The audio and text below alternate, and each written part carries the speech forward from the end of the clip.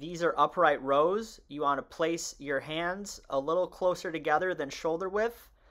With some resistance, you want to let the weight drop, controlling it and pulling upwards. This targets your front delts and traps, really giving your shoulders a nice pump and rounding them out.